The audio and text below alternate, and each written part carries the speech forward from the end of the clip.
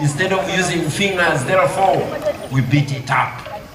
Ladies and gentlemen, this keyboard, which we call Embaire, will sound. And gentlemen, watch this space.